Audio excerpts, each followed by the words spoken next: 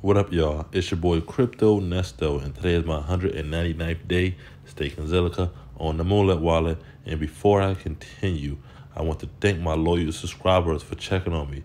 Your boy has been a little under the weather lately, and so far I've been getting a lot better. So thank you very much, guys. Thank you. So anyway, let's go over the overall state of the crypto market. So as you can see, guys the market has taken a serious A whipping, and Bitcoin is below 40K, while Ethereum is still holding strong over 2K.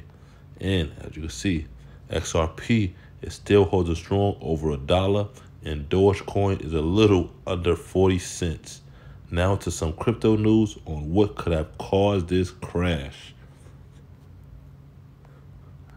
So, as you can see, guys, Chinese regulators made a move this Wednesday today to restrict crypto activity, which could have triggered a sell off. So, you go down further here, guys. You can see here that Chinese regulators made a move today to restrict crypto uh, activity, which could have caused this sell off.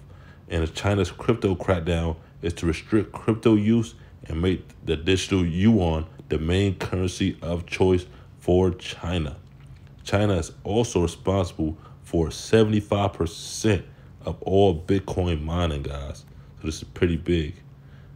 So also, if you go down to the bottom here, you'll see that the, the People's Bank of China announced that financial service companies and payment services were banned from pricing or conducting business in virtual currencies.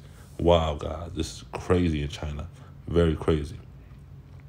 So if you go down to the bottom here, you also see that the digital yuan um, also won't give people the ability to remain anonymous while making transactions, unlike privacy-focused coins such as Zcash, Monero, and Verge. The digital yuan is also challenging the US dollar to become the international currency of choice. And um, many analysts, including myself, believe this pullback will bring out more buyers and can potentially push harder for crypto adoption. Your boy Crypto Nesto is holding all his coins during this storm. And I'm only taking staking profits from my stake rewards.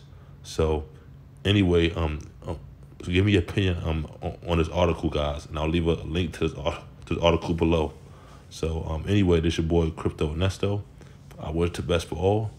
Please like, comment below, subscribe, and share. And let's travel this crypto journey together. And thanks for watching, guys. Have a good night. Bye bye.